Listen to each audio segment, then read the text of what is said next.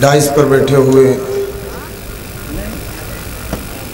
تمام علماء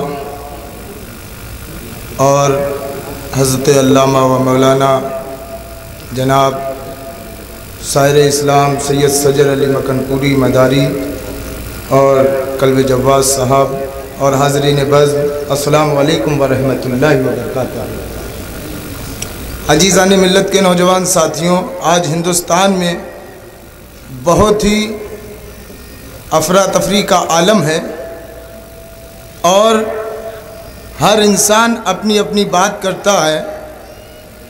ہر طریقے سے ایک ہندوستان کو ہندوستان میں رہنے والے جو مسلمان ہیں، انسانیت ہے، اس کی توڑنے کی بات کرتا ہے۔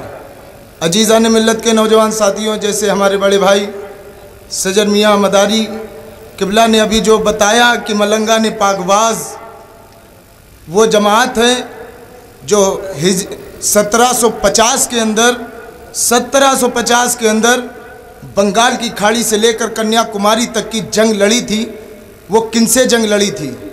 آج جن کو لوگ اپنا رہبر مانتے ہیں، اپنا محسن کرم مانتے ہیں، عزیزان ملت کے نوجوان ساتھیوں اصل میں وہ پکے گدار ہندوستان ہیں اور انسانیت کے گدار ہیں۔ ہمارے ملنگان پاکواز نے ہمیشہ درد درس یہ دیا ہے، ہندو ہی برا ہے، نہ مسلمان برا ہے۔ آ جائے آ جائے برائی پر تو پھر انسان برا ہے۔ اور کیا بنانے آئے تھے؟ کیا بنا بیٹھے؟ کیا بنانے آئے تھے؟ کیا بنا بیٹھے؟ کہیں مندر، کہیں مسجد بنا بیٹھے۔ اور پرندوں میں کبھی فرقہ پرستی تک نہیں ہوتی، کبھی مندر پہ آ بیٹھے، کبھی مسجد پہ جا بیٹھے۔ کبھی مندر پہ آ بیٹھے، کبھی مسجد پہ جا بیٹھے۔ عزیزان ملت کے نوجوان ساتھیوں، ہندوستان کی تمام خانقاہیں ہیں۔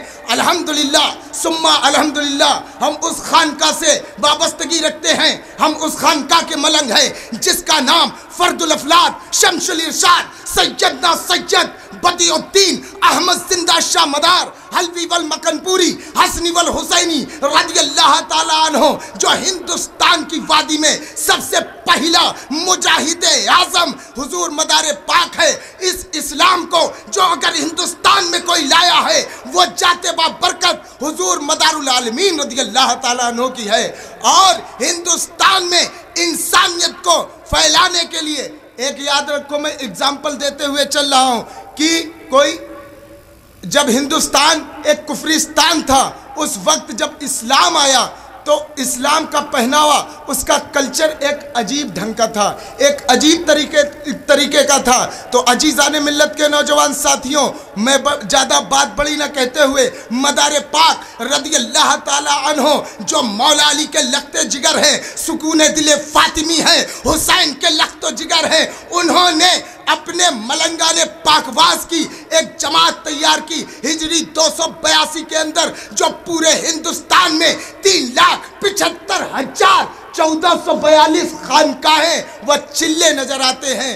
وہ انسانیت کا درس دیتے ہیں۔ ملنگان پاکواز نے بنگال کی کھاڑی سے لے کر کنیا کماری تک کی جنگ، ہجری سترہ سو پچاس اور اٹھارہ سو اٹھاون میں جب آپ اٹھا کر دیکھیں گے، اور کتابوں میں یہ لکھا ہے، freedom fighter, first Indian army, سرکار سیدنا مجنو سا ملنگ، مداری رحمت اللہ علیہ یعنی کہ آرمی بھی جو ہے، جو ہندوستان کی فرسٹ آرمی بنی تھی، اس کا نام ملنگان پاکواز ہے۔ یہ مدار کے غلام ہیں۔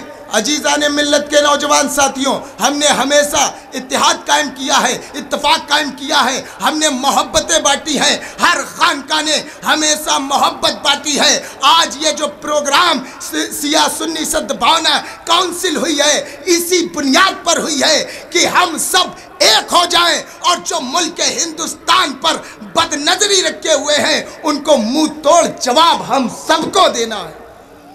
السلام علیکم ورحمۃ اللہ وبرکاتہ